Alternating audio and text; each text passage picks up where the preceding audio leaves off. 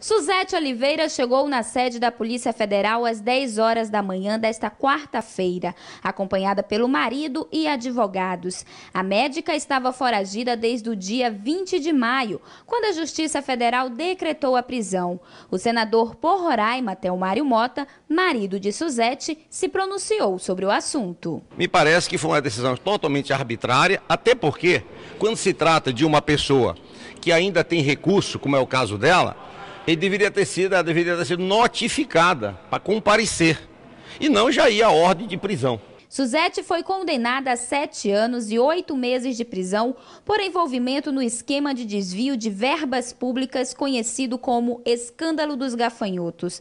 A esposa do senador teve a prisão decretada pela segunda vara da Justiça Federal de Roraima, a pedido do Ministério Público Federal, após ela ter um pedido de habeas corpus negado no Tribunal Regional Federal da Primeira Região, em Brasília.